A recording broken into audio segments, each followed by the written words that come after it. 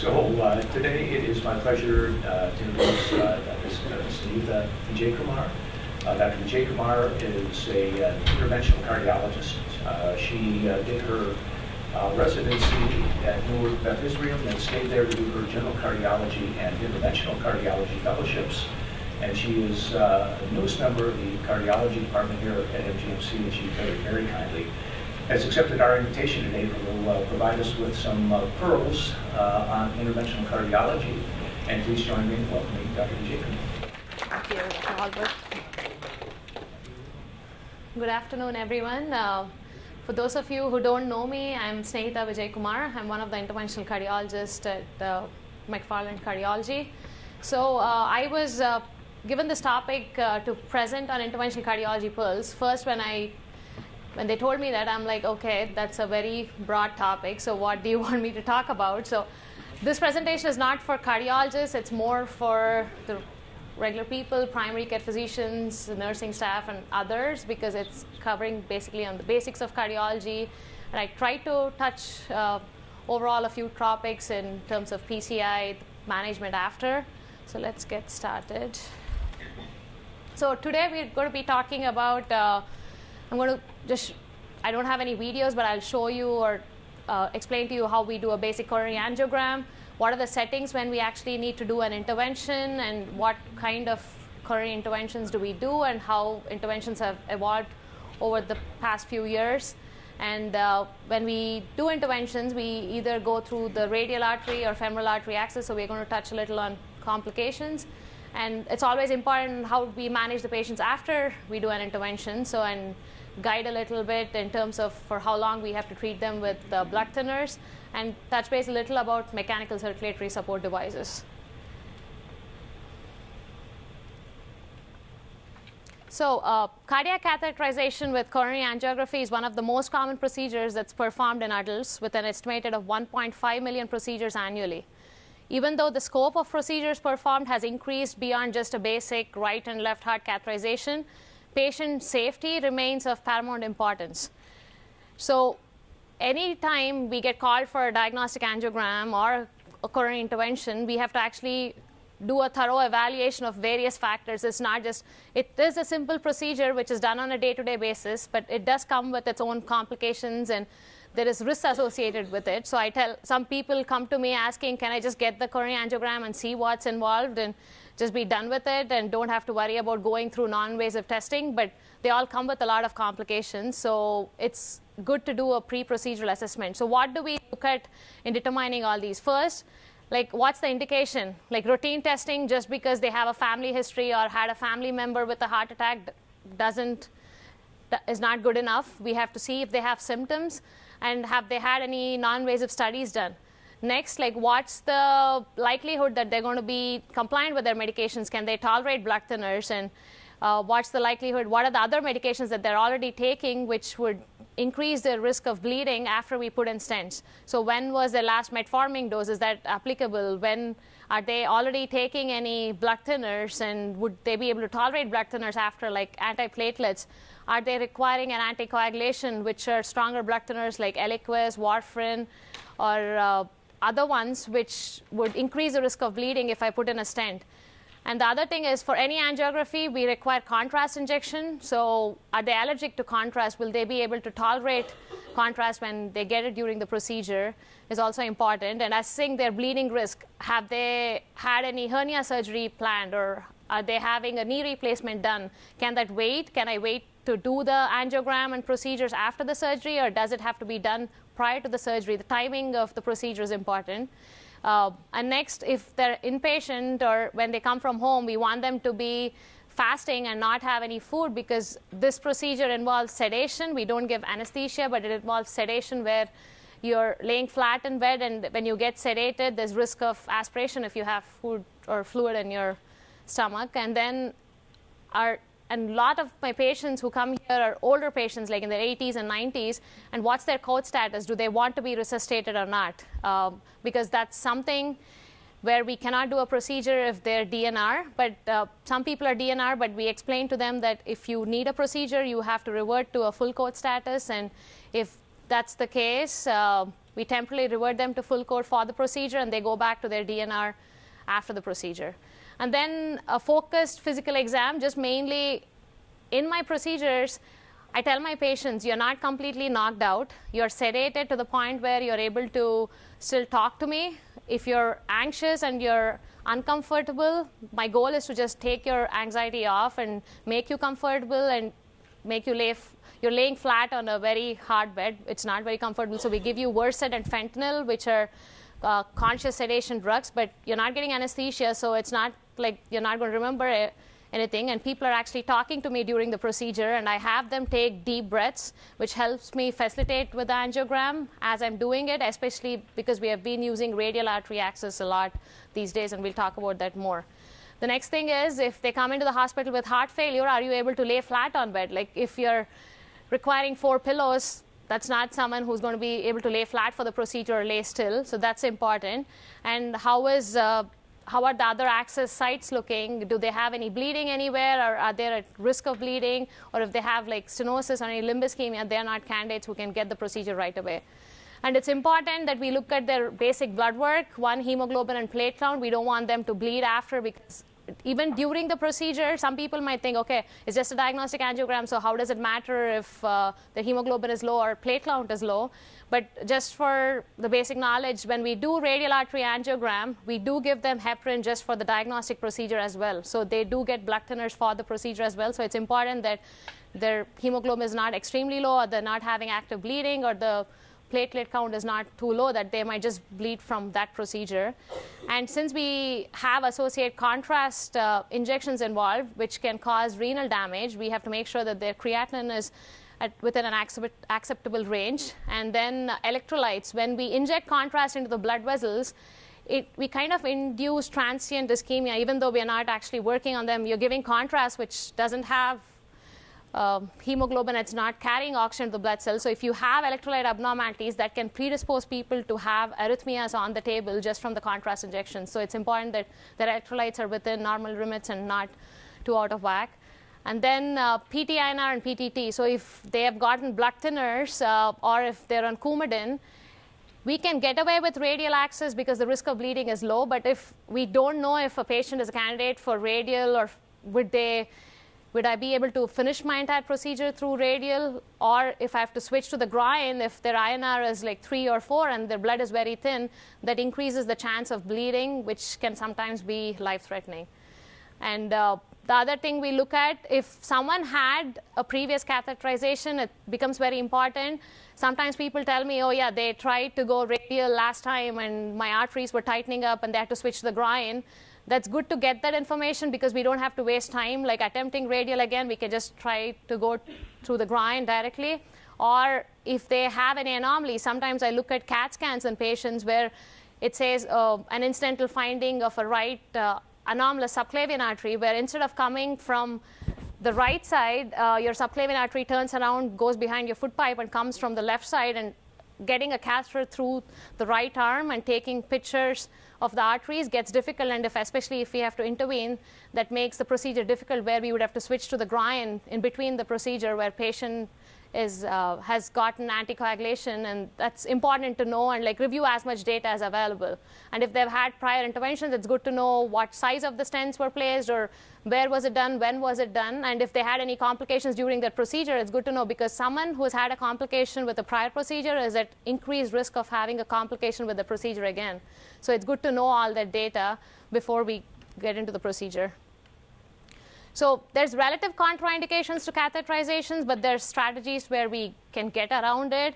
One, obviously, if the patient is not able to give an informed consent, they're demented. Sometimes it's necessary, like probably they should not even be getting the procedure, but sometimes if they come in with an acute MI or they're just sick in that acute phase because they have heart failure or they're shocky and their blood pressures are low, we can obviously get consent from family member.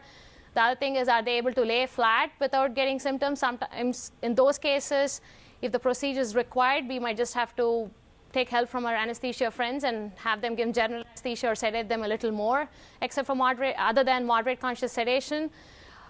Pregnant patients, uh, hopefully they never require an angiogram, but sometimes we have this condition called spontaneous coronary artery dissection, or they might be more thrombogenic and have an MI because of clots. And if it's necessary, we obviously have to do the procedure and we can get away or minimize the chance of radiation to the baby by putting an abdominal lead shield or, and using radial access as opposed to groin access in these people.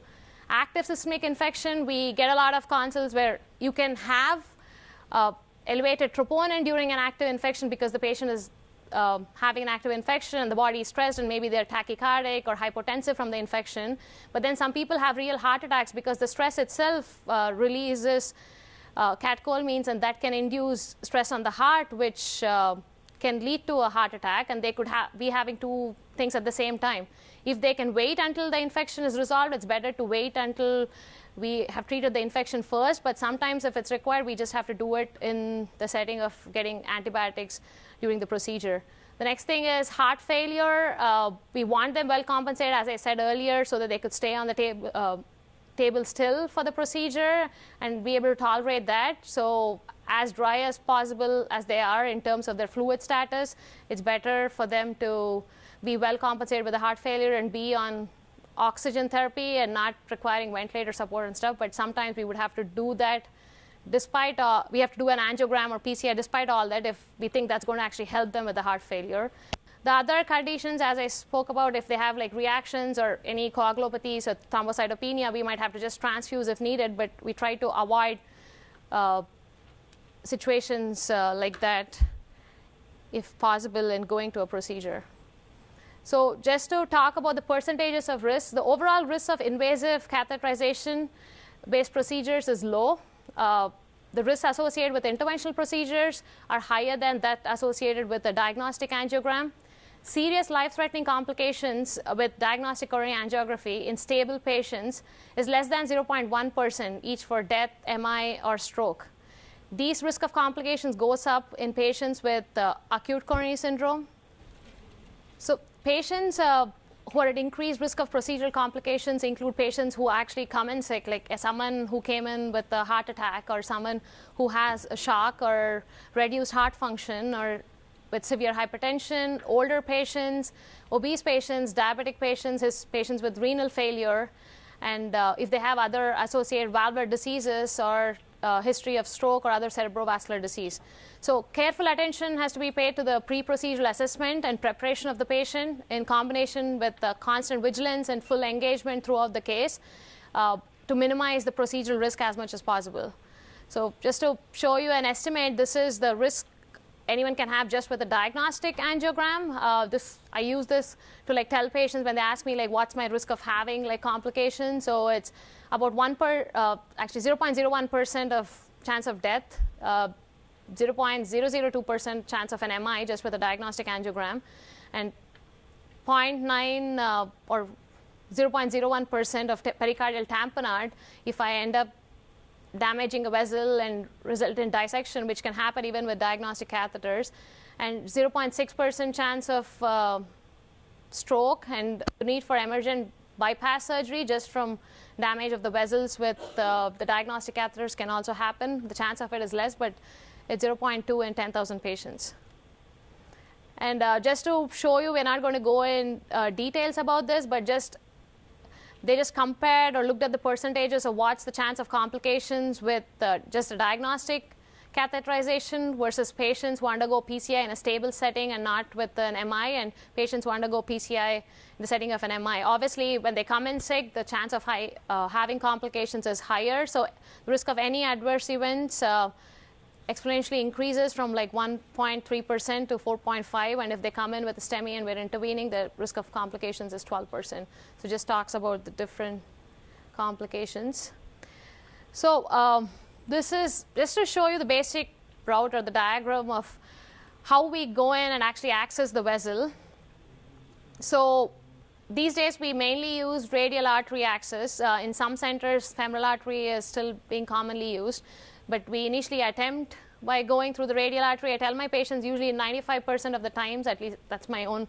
personal statistics, like I'm successful in finishing the procedure through the radial artery, but sometimes we would have to switch to the groin. Uh, so we access the radial artery. This is the ulnar. It's just a rough diagram. There's much more branches to the arteries, but uh, so we go through the radial artery. We usually use a sheath which is about six French, and French, when we correlate to millimeters, is three French is one millimeter. So six French is about a two millimeter catheter that goes above in this arm all the way through the subclavian and then the brachiocephalic artery, and we come down the descending, uh, ascending aorta and then engage the arteries. We sometimes go into the ventricle using the catheter to measure pressures. Uh, sometimes in patients with severe aortic stenosis, that becomes difficult, so we might not and just go directly with the angiogram. And if you see this uh, in terms of like being able to perform angiograms, the reason I was saying we have patients like awake and take deep breaths is when they take deep breaths, this anatomy, like this is very tortuous. It's not as straightforward as it looks in the picture, but this area in the subclavian can be very tortuous. And then when they take deep breaths, eh, this gets the diaphragm gets pulled down, and then the entire heart kind of gets pulled down, and this becomes more of a straight path. So a lot of times, especially when I'm going through the radial artery, I have my patients take deep breaths, and so we want that communication possible during the procedure. And if you see when you go through the groin, it's more uncomfortable for the patient because they have to lay flat uh, and can't move much during the procedure or even after for a few hours. But it's literally a straight path, and then all the catheters are kind of made for going through the groin with only newer catheters made to go through the radial artery. So it's much more easier for me when I go through the groin, but for more of patient convenience and better safety, we go through the radial artery. And uh, this is how a routine basic uh, coronary angiogram looks like. So we have X-ray tubes that kind of rotate around the patient and take pictures in different angles. And this is the left coronary artery. So this is the left main that divides mainly into the left anterior descending and then the circumflex artery. Since it's two-dimensional, unfortunately, it looks very different than the normal heart, but uh, this is how an angiogram looks. So we're injecting contrast dye and temporarily displacing the blood, and actually the thing was filled with uh, contrast. Again, this takes a few seconds, so the risk of anything happening with just injection in a normal vessel is very, very minimal. And this is the right coronary artery, which is like a, it looks like a C on an angiogram. It kind of is turning around between the right atrium and right ventricle, and there's multiple other branches. So when we actually look at the blood vessels, there's a lot of branches here which can have blockages, but unfortunately we can't put in stents in every blockage because the smallest stent they make is two millimeters. So sometimes you would see reports from us saying, okay, uh, the, it was not amenable to a PCI because if the vessel is less than two, then we could do balloon angioplasty and open it up, but I'll show you what's the disadvantages of that and why we don't and just treat with medications. And if there's a stenosis, I guess this picture is not as clear, but this is how it would look as a filling defect. If in STEMI patients or in people with complete heart attacks, it's a complete occlusion where you won't see anything filling beyond it. But this is like a stenosis about like 90% where you see a filling defect. You have normal blood vessel here, and then you have a cutoff sign, and then you have filling distal to that. But this just means that there's plaque that build up and cause narrowing. So we see a blockage, should we just go and fix it? That's another thing. Does the patient actually meet criteria that needs to be fixed? So let's review what are the indications of PCI. So revascularization for uh, stable CAD, like when patients come into our clinic with just chest pains and and didn't have a heart attack, it's warranted only in patients with symptoms refractory to optimal medical therapy. So we have to first start them on some medications. It could be a nitrate, a beta blocker, or we would have at least tried one or two medications before we proceed with uh, thinking about fixing it. But there are certain criteria where we might want to fix it even before medications. If, for example, we do a stress test and we see that it's very largely abnormal and involves a large area which could be life-threatening in some people, that then that's a different scenario where we would have to proceed with an angiogram and intervention. So revascularization uh, with PCI, unfortunately, there's no big studies that have actually shown mortality benefit with that. It's mainly for like symptom improvement and improving quality of life. But then revascularization with CABG is indicated to improve survival in patients with multivessel CAD uh, and also have like reduced L left ventricular systolic function. In patients with three vessel CAD and normal EF, uh, CABG may be reasonable to improve the survival as opposed to doing a PCI. And then it's a busy slide. I have like a few flow charts like going. Actually, these are available online too. ACC has like flow charts that kind of gives us a good path to what to do in certain scenarios. So we're, now we're talking about only stable ischemic heart disease patients, like people who didn't have a heart attack yet. So the indications for actually going for an angiogram intervention is either to improve symptoms or are there like indications where it can actually affect survival like if they have multiple blockages or if they have disease in the left main that can actually uh, affect their survival or cause uh, sudden death or mortality. So those are some indications where we might have to consider revascularization. So one, if they're refractory to uh, medical therapy, refractory chest pains to medical therapy, then yes, obviously go ahead and try to revascularize. Or if they don't have that and you go in and you see that there's left main disease, then you have to see whether that can be fixed with stents or do they have other high complexity. If they have high complexity and if they have left main disease, especially where the artery is branching out into the LAD, it's very complex to put in stents there. It can be done, but then we evaluate to see if they'll be a good suitable candidate for CABG. And uh, if that is the case, they go that route. And if not, if it can be fixed with stents, we go that route of putting in stents. But sometimes people might not be a candidate for either or a CABG or PCI, and those patients we have to just manage with medical therapy.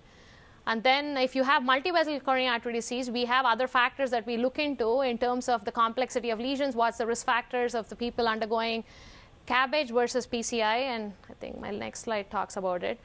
So in patients with multivessel coronary artery disease, you may think like, how are we deciding who we send for bypass versus who we send for uh, or who we stent. Like sometimes you see that some people have gotten like seven, eight stents, and you're like, oh, why did this person just not get a bypass surgery if they required so many stents? And then in some people, uh, it's not feasible to undergo surgery, and some people are better off with stents. So that's these are some of the things we look at when we're deciding. So some things that favor PCI in terms of clinical features is if they have severe comorbidities, like if they're like morbidly obese or have other conditions which increases their risk during an open heart surgery. I tell people like open heart surgery is good for long term, but immediately during the surgery, it's a major surgery where you have to get your chest cracked open and uh, have to be able to deal with it during the acute period. But once they get through that, the long term benefit is good because these bypass grafts, especially some of them, like the left internal ma mammary artery graft tends to probably stay there forever without ever occluding. The chance of that stenosing very, very less. So that gives them more long-term benefit, and maybe they don't have to keep coming back for more and more stents. But then you have to be strong enough to get through the immediate surgery itself.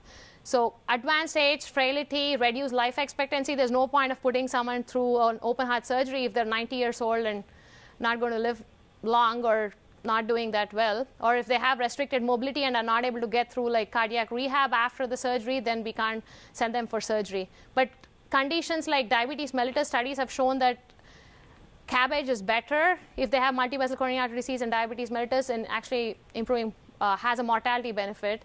And then people with reduced uh, left ventricular function or someone uh, who cannot tolerate blood thinners, like anyone with stent has to get blood thinners. So anyone who cannot tolerate the blood thinners probably will benefit from undergoing uh, a bypass surgery. And people who have had stents before who keep where the stents keep clogging up again and again and they're not able to tolerate uh, stenting, then we send them for CABG.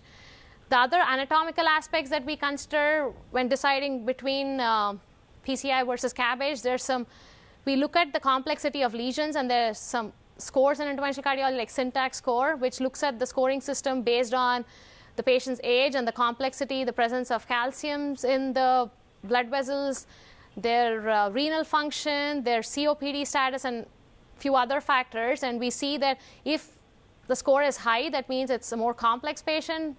They would benefit from a CABG versus if the score is low, they're someone who can be treated with PCI. And then uh, other things which where they cannot undergo CABG, like if they have a chest deformation, if they have had radiation therapy from a previous cancer, then it makes it very difficult for the surgeon or increases chance of uh, bleeding risk for the patient when the surgeon has to go in and cut through like scarring uh, if they've had like previous chest radiation. And if they've had a calcified aorta, it's called a porcelain aorta, where when actually when people go for a bypass surgery, they actually go on a bypass pump where your aorta has to be cannulated, and if it's calcified, that increases the risk of the surgery.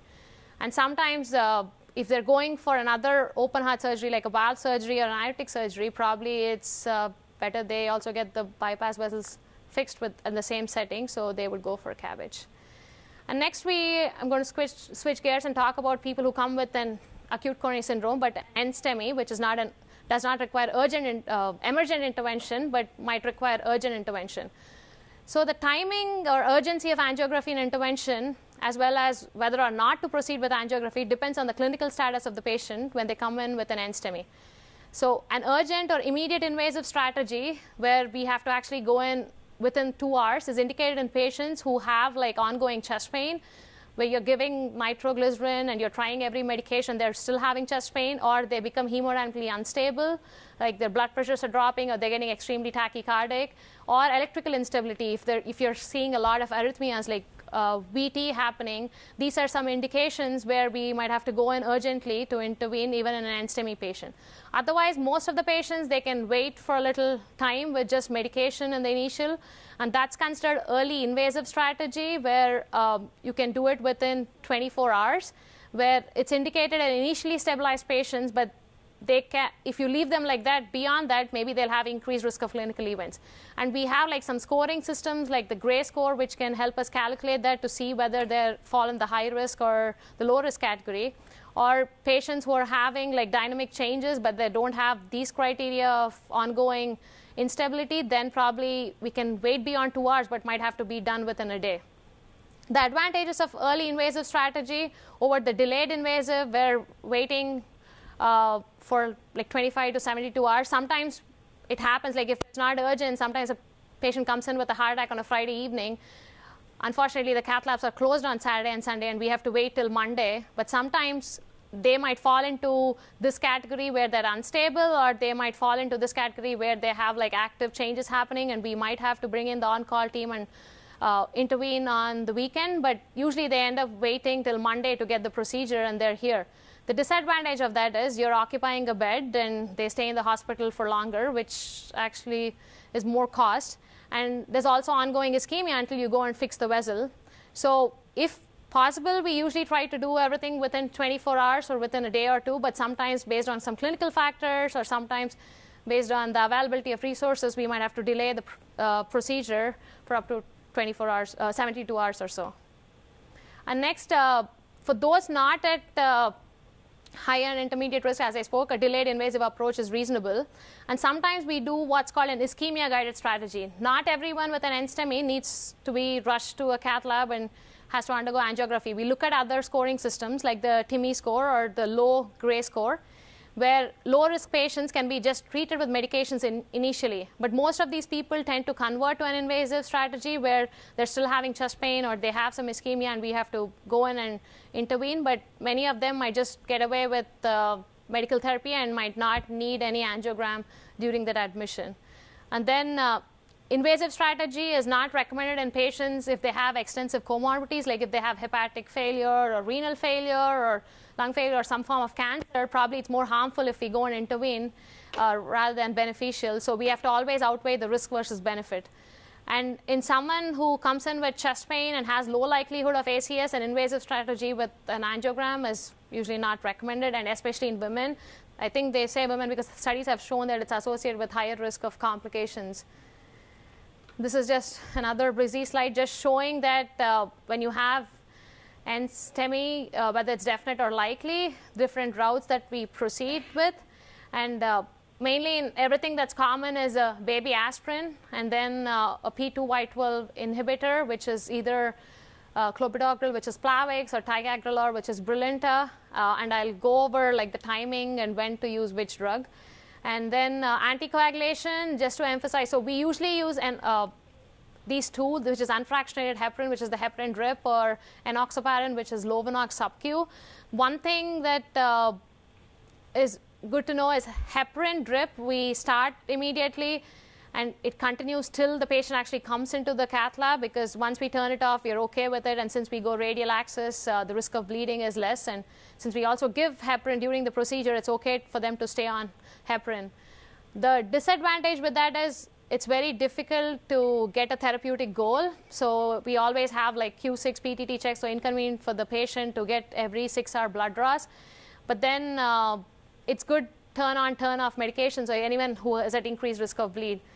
For Lovenox, uh, you get therapeutic level, one shot, and they're covered for 12 hours. But one disadvantage with that is if someone comes in at 3 a.m., and they have to get an angio, you give a Lovenox shot and they have to get an angiogram at 8 a.m., they're still in the window where they've gotten Lovenox, and if we give heparin, that increases their chance of bleeding. So I recommend, like, if you start Lovenox BID, make sure that they get the last dose at least 12 hours, and if you think they still need anticoagulation, but the procedure is anticipated within the next 12 hours or so, make sure that uh, you probably consider heparin as opposed to Lovenox.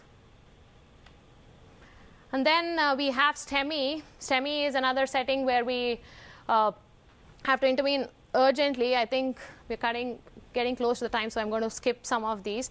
So any STEMI, if you're coming to a PCI-capable hospital, which is this hospital uh, when we have STEMI coverage on call, uh, our goal is to open the vessel within 90 minutes. And they say FMC is first medical contact to device time. So that has to be done like from the patient coming into the door and getting to the cath lab and actually having the vessel open, which has to be within 90 minutes, because they say time is muscle in STEMI. Like the longer you have isch ischemia or like decreased blood supply, the chance of the muscle recovering from it decreases, and we want to minimize that as much as possible. And then if you go to a non-PCI capable hospital, uh, they say that you, their goal is to get the patient in and out of the door. DIDO is door in and door out, is within 30 minutes. If you're able to do that and the patient can go to another uh, facility and get the intervention done within 120 minutes, we have to transfer them immediately as possible for primary PCI. But then if they're not able to do that, and if you think it's going to be more than 120 minutes, it's better to administer a fibrinolytic agent like uh, alteplase or tenecteplase, and then uh, watch them and then transfer them eventually for a PCI. So the other thing with STEMI that's important, uh, which we don't routinely follow, but it's good to know, is patients when we are deciding on primary PCI, if the symptom onset is within 12 hours, obviously we have to go and fix the lesion, but then there's some guidelines or studies that have shown that if they've had symptoms for greater than 12 hours, there are some indications where we have to still go in, like if they're having ongoing chest pain and heart failure, or they're in cardiogenic shock, we still have to go in and try to revascularize. But studies have shown that if the arteries are occluded for greater than 24 hours, the patient had symptoms for two, three days, the STEMI happened two, three days back, and you instantly notice that there's a STEMI, there's no actually it's harmful and not beneficial in doing an PCI after that. But usually, if, the way I look at it, if the patient is coming to the ED, even if they had uh, STEMI three days ago, if they're coming, they're having ongoing symptoms and they don't come without symptoms. So usually we attempt intervening all these people. But the chances of the vessel staying open or benefit is much lower. And then uh, sometimes when we go in and actually try to fix one vessel in the STEMI, we find other vessels which are also blocked. And uh, do we fix them or not? Uh, there's actually guidelines based on studies on that as well, saying that if they're actually in cardiogenic shock and they have other vessels involved, it's we do not uh, fix the blockage at the same time. You might think, oh, but the other vessels are blocked, maybe because if they're shocky, let's fix everything at once and improve the flow. But when they're actually in cardiogenic shock, their kidneys are getting perfused less, and their overall status and their catecholamine levels are pretty high, and the risk of renal failure and other uh, damage is much more as opposed to when they're not in cardiogenic shock. So in cardiogenic shock, we just treat the main vessel, let them stabilize, and bring them back to fix the other vessel at a later time. If it's a simple STEMI and they're clinically okay except for that one blockage and we find something else, if that can be fixed, we sometimes fix it on the same settings. But it depends on their overall clinical status what makes us decide. So let's uh, talk a little about uh, P2Y12 inhibitors. Um, so P2Y12 inhibitors, the main three ones that we use are clopidogrel, which is Plavix, prasugrel, which is Effient, and ticagrelor, which is Brilinta. So it's recommended to load the patient with an oral P2Y12 inhibitor in a STEMI. So immediately you get an EKG, uh, and you see that the patient has to go to the cath lab, load them. And the most common one uh, for people here that I we use is uh, Brilinta, which is the ticagrelor, which is 180 milligram dose. And uh, actually, ticagrelor and prasugrel, which is 60 milligrams dose, these two are preferred as opposed to clopidogrel, with studies showing that it actually reduces uh, ischemic events compared to uh, Plavix, Brilinta reduces ischemic events when used in the setting of ACS like NSTEMI or STEMI. But I'm talking only about STEMI where I recommend loading the patient with any of these and preferably Brilinta. The only caveat with prasugrel is they recommend not giving prasugrel loading until we see the anatomy, like not until I actually go in and do an angiogram and see the blood vessel. Prasugrel loading is not recommended. Next, it comes to NSTEMI, always the debate is I've had patients uh, come in from referral centers where like, oh, we're sending a patient for NSTEMI, needs an angiogram, we're giving heparin drip, and we'll also give uh, any of the other P2Y12 along with aspirin loading. And it's actually, there's no evidence that pre-treatment with a potent P2Y12 inhibitor in patients undergoing an early invasive strategy, especially if they're going to get a cath within the next 24 hours or so, there's no point uh, or no benefit in actually treating them with Plavix or Brilinta loading. And sometimes I've seen that it's actually harmful in a way. Like I don't think there's any studies to prove that. But the thing is when someone comes in with a loading dose of Plavix or Brilinta, and then I do an angiogram and I see multivessel disease, and then I send them for CABG, and no surgeon is usually going to touch them for another five days. That increases the length of hospital stay, that actually delays, and you have ongoing ischemia. They're on blood thinners till then, they're on heparin drip, so there's prolonged hospital stay, increased risk of bleeding with that, and there's actually no evidence that treating them before is actually beneficial. So in NSTEMI, I recommend don't give dual antiplatelet agent and leave that up to the cardiology team and maybe until they do the angiogram, they, we usually don't give uh, a second antiplatelet agent. And next, uh, prasugrel, uh, we don't use that as commonly in this hospital, but sometimes we see people who are already on it, but it's usually not recommended. There's many caveats with it in terms of you can't give it until you see the anatomy, so don't use it in STEMI, uh, in the ED, or if someone had a prior stroke or TIA, it's actually harmful, and older people and um, people with low BMI, it's as associated with increased risk of bleeding, so we do not use that as well. And then after the PCI, optimal medical therapy, um, oral antiplatelet agents, statins, beta blockers, ACE or ARB is actually beneficial and has a associated with survival benefit at five-year follow-up, especially in patients with multivessel CAD. And uh, it also helps in reduction of the composite endpoint of death, MI, and stroke at five years as well. Let's switch gears and talk briefly about uh, PCI. Uh, so PCI, like first when it started, it was balloon angioplasty. 1977. So the first balloon angioplasty in uh, living human was performed by Dr. Gruentzig uh, uh, in Switzerland. Uh, but that since then, angioplasty has evolved. In 1987, they invented bare metal stents, and then in 2002, 3, they had first generation stent, drug eluting stents, where you had a stent which eluded drug but it came with its own caveats. The stents were much thicker and the drugs were not as efficient. But then we have more latest gens, and we are currently on the third and fourth generation where we have bioresorbable stents and stents with better drugs and uh, better durable polymer. But each one has its own caveats, and we'll talk about that in another slide. So just to show you like how a uh, PTCA or percutaneous transluminal coronary angioplasty is done. So you have a blockage like this, we put in a wire across the lesion and then we take a balloon and then inflate the balloon and we have an opening in the vessel. Bob, you can think, oh, looks great, why to even put in the stent?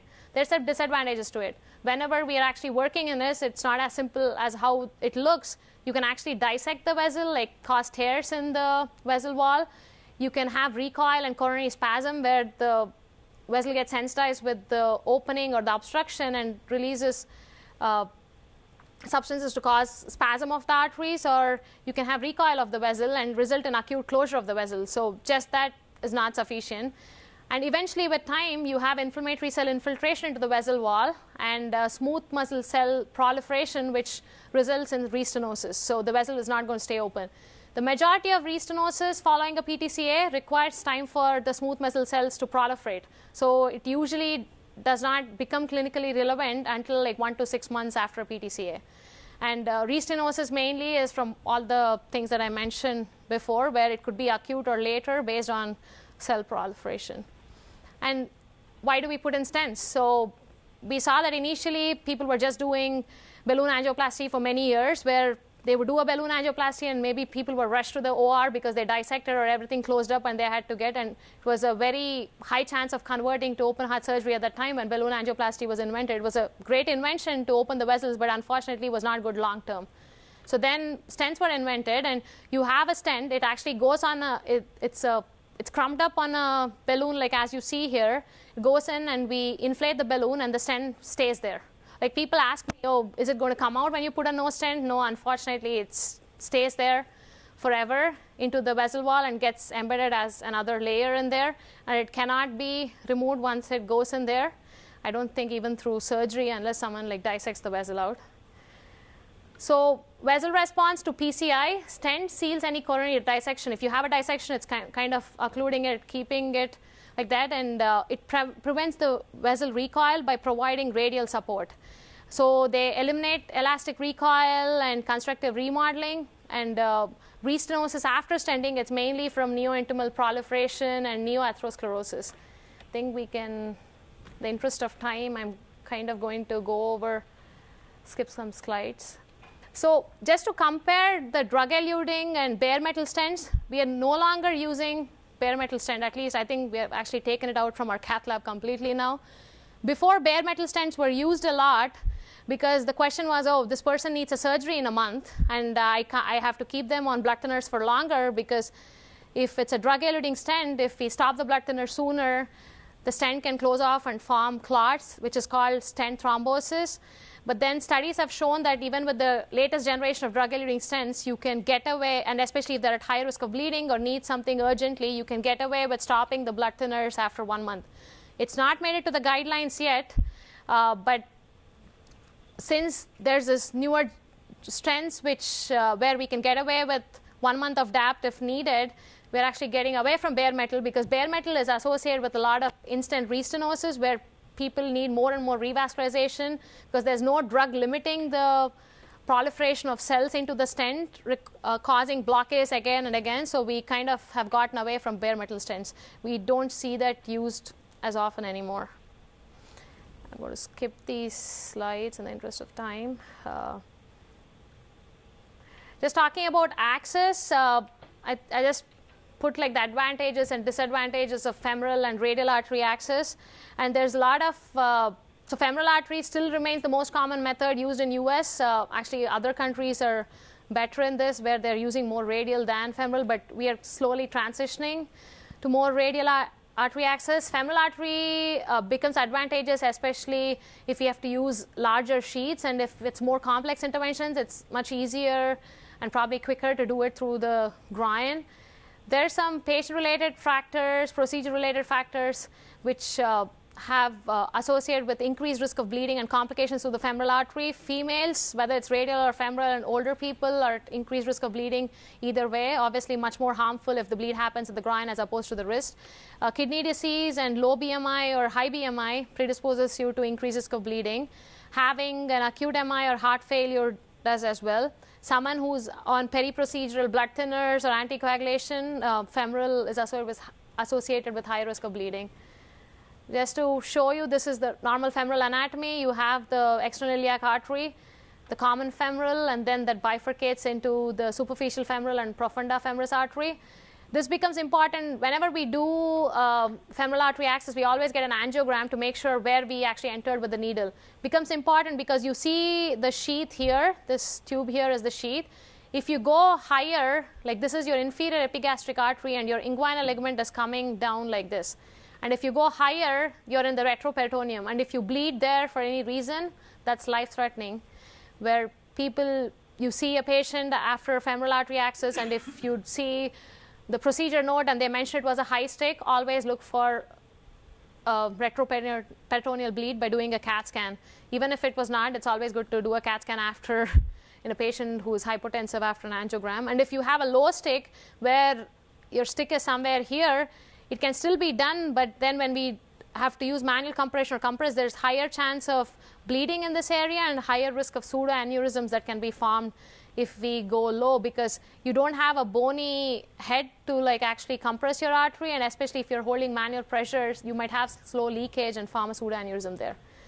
So transradial PCI is recommended now, and it's actually the first line approach in patients with stable ischemic heart disease. Uh, because it has benefits of lowering your vascular complications and bleeding. In acute coronary syndrome, there was actually studies which actually showed that it, it's associated with reduced mortality when we go radial versus femoral.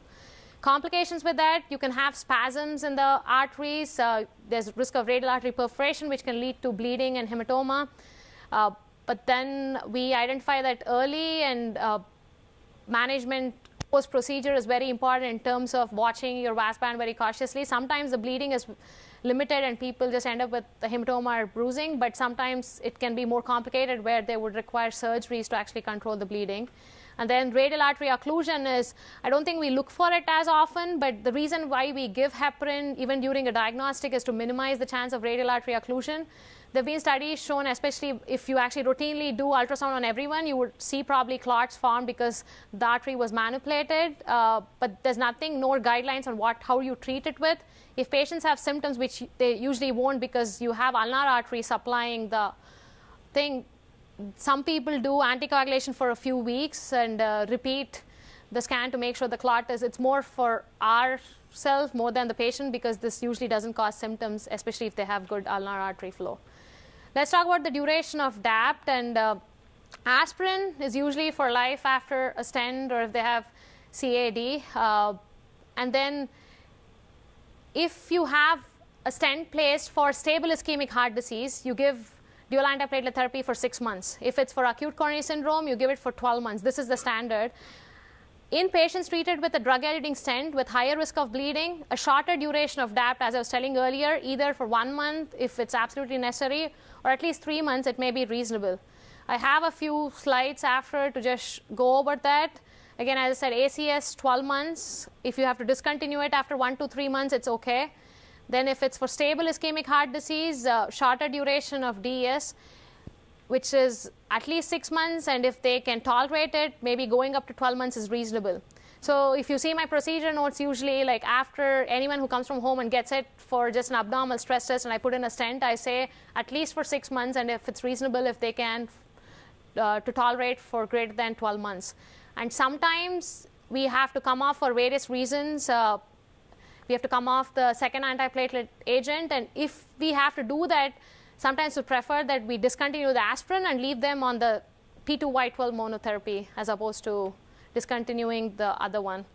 And even in CABG, I feel a lot of people don't even practice this as much. Even in CABG, and if they have had uh, recent ACS and then I, they've had an NSTEMI and I send them for a CABG, I usually, and actually the guidelines recommend that we do dual antiplatelet therapy for 12 months. We don't see that commonly happen. This is something that gets missed a lot.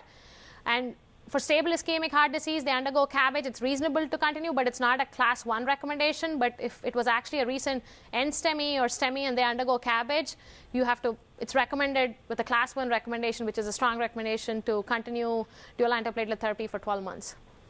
And this is just showing recent NSTEMI, whatever it may be, whether you treat it with medical therapy, CABG, or lytics, or PCI, 12 months is what the way to go, unless there's any risk of bleeding. So perioperative management, it's recommended that uh, elective non-cardiac surgery should be delayed for at least 30 days after bare metal stents and optimally six months after drug eluting. Uh, in patients treated with DAPT after PCI who must undergo surgical procedures, uh, that mandate the discontinuation, it is recommended that aspirin is continued through the procedure, and the P2Y12 inhibitor, we say just started as soon as possible when the surgeon says it's okay to restart.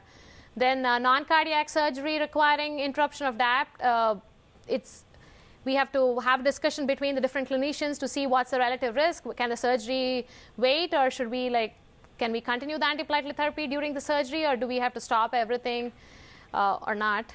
And then elective non-cardiac surgery after DES implantation in patients for whom P2Y12 therapy will be discontinued may be considered after three months if the risk of further delay of surgery is greater than the expected risk of stent thrombosis. So if it can wait longer, wait for six months, but if not, at least three months. Sometimes if the surgery can't wait, we're okay after 30 days. But at least 30 days for an elective surgery is what is recommended. This is a good flow chart that shows all that and whatever I spoke about. So actually doing surgery within 30 days and stopping the blood thinners is associated with stent thrombosis, which can which is actually very harmful and can result in massive MI. So preferred not to do any surgery within the first 30 days. And then uh, we have a lot of patients with atrial fibrillation who also undergo PCI. So for that, the guidelines actually recommend that uh, we initially, immediately after the PCI, they're on triple therapy. You have an oral anticoagulant and then aspirin and the P2Y12. And you can actually discontinue the aspirin after one to four weeks. It's a wide range. We usually recommend at least four weeks, but older patients, if you think they're going to bleed, the basic anemic, but you need a stent and you also need an oral anticoagulation, they can come off as early as one week. But usually, clinically in practice, we at least do two to four weeks and ideally four weeks of triple therapy and then come off aspirin. And when they're on triple therapy, it's recommended that you can consider a lower warfarin or INR uh, target of 2 to 2.5 as opposed to the usual 2 to 3. So keep the INR a little bit on the lower side. And then in patients with AF who are undergoing PCI, actually studies have shown that probably a NOAC, uh, it's no longer known, like a direct oral anticoagulant, it's no longer a new oral anticoagulant, it's a direct oral anticoagulant, like uh, either Eliquis, Xarelto, or Pradaxa, that can, is better in terms of lower uh, risk of bleeding as opposed to warfarin itself. Then to briefly touch on mechanical circulatory support devices, uh, there's various available in the market. Uh, we have only one available in our hospital, which is the intra-aortic balloon pump. Uh, the other things which are commonly used are Impella and ECMO. Uh, why do we even need this? It actually helps in providing circulatory support by increasing your mean arterial pressure. It helps with unloading of the left ventricle in terms of relieving the pressure and also reducing the volume. It also improves uh, myocardial perfusion and gives some coronary support as well. So these are the devices that are available. We have the balloon pump. I'm going to talk more about balloon pump since we uh, see that more in the ICU and elsewhere. Impella is something which is a device that usually goes through the groin and uh, it has like a motor propeller which sits across the aortic valve. It's actually sucking out blood from the left ventricle and uh, releasing blood into the ascending aorta, and it actually kind of acts as a bypass for the LV. We don't have that here. Maybe at some point, if we get it in the future, I'll give you a talk on that at that time. And then ECMO is extracorporeal membrane oxygenation. The reason I even bring this up is even though we don't have it here, it's a good lifesaver. In my training, we used to do a lot of these in people who are critically ill and there's nothing else. They do it in Des Moines. So if you have a sick patient, it doesn't have to be cardiac, but even pulmonary embolism and they're critically ill and you need an emergent, it's a while the patient is recovering or healing from the disease process, it's a good way where you have another machine like acting as an artificial heart for you. I've seen it do miracles and very life-saving, especially if you have younger patients who are critically ill. It's a good device you have to think of, especially being in the ICU or uh, taking care of those patients so that we could transfer them to other places which actually do it.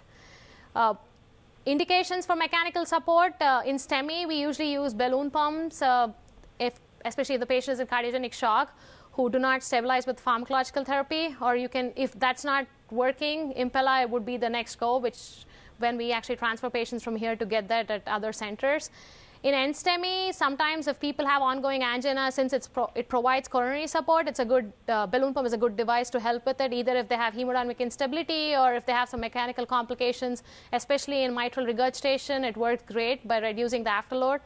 Uh, balloon pump is a good device everything comes with complications. Uh, these devices are pretty big. Like I was telling you about a two millimeter catheter that goes to do the angiogram, and these devices are about three to five millimeters, uh, varying. And since it's a bigger hole associated with more bleeding risk, and it can cause occlusions of the arteries, especially if they have underlying PAD and balloon pump, especially when it sits in the aorta, I'm going to show you a picture on that. It can cause hemolysis with every inflation and deflation that happens, and actually you see people develop like anemia and thrombocytopenia on it. So how does the balloon pump act? Uh, I have a good picture that shows us, yeah. So this is a balloon which is like a cylindrical tube which is filled with helium with every inflation. So it in, when it inflates, it's actually uh, kind of occluding the descending aorta transiently. And with that, what happens is you have a column of blood. Usually, coronary flow happens in diastole. So, in diastole, your aortic valve is closed, and then this balloon inflates, and you have a column of blood that forms here. With that, you have a high pressure or a volume of blood that's sitting in the ascending aorta, so you have increased coronary perfusion. So with that, you have improved myocardial oxygen supply. In systole, it, you have deflation of the balloon, and it kind of creates kind of a suction. And with every systolic beat, when it, it's causing the deflation of the suction, you have a reduced in afterload. And with that, your LV is doing less work. And just to show how it looks on the screen, so this is your balloon pump screen. People who work in the ICU and other uh, people taking care of patients with balloon pump might have seen it. You have an EKG lead and you have a trigger that's identifying diastole and systole on the EKG. And this is the balloon pump in action, like which is giving one-to-one support. For every beat, your balloon, with every heartbeat, your balloon is inflating and deflating. So when it inflates is when you see this pressure go up, which is called the diastolic augmentation. So this part, if you see correlating with this, is happening in diastole. So this peak or the augmented pressure here, if you see, is 93 millimeters. So the blood pressure just with the balloon inflation is getting augmented, the diastolic pressure is getting augmented to 93. And then you have a drop, and in systole, you actually see that it's dropping. The systolic pressure is only 60. That's the goal. People are like, oh, with the balloon pump, why is my blood pressure dropping? But that's the goal. You're trying to reduce the afterload so the heart actually works less with pumping. So you have a drop in your systolic pressure and your diastolic pressure is pretty high. And if you calculate the mean arterial pressure, mean arterial pressure, the main contribution is from your diastole. So your mean is actually preserved and more than your systolic, which is unusual. Usually your MAP pressure is much less than your systolic, but your mean is higher than your systolic. So that's what the balloon pump is supposed to do. If you see this waveform where you have a good peak way above the initial systolic notch, that means that the balloon pump is working great. And you would like, even though it's a simple device with the simple mechanism of action, it does great in a lot of people in helping them recover through uh, the initial phase after a big MI. And uh, I just wanted to bring up this slide. We get x-rays routinely on uh, balloon pump patient. This is how it looks on a chest x-ray. This is a balloon pump that was, I think the film was taken during an inflation. This is a column of air in the balloon and this is the tip. Reason I bring up this slide is it's important. This is the position where we want the tip at the level of the carina. This is the aortic knob and there have been cases where it gets displaced with the patient moving. If it gets displaced, you can actually go and occlude the subclavian artery, which can cause ischemia of the limb. And if it's too low, sometimes the augmentation is not enough. And if it's too low, the other thing is down below in the aorta, you have the renal arteries and the mesenteric arteries coming, especially if people have underlying disease with every inflation you can cause temporary uh, ischemia to the renal arteries, and sometimes we see the kidney function going up because of that reason. So it's important that we get daily x-rays on these people with balloon pumps and make sure the position is not too out of whack. So it's important for all the people involved in taking care of this patient to look at these and make sure that it's in good position. Sorry that I took over time, uh, but thank you and any welcome to take any questions.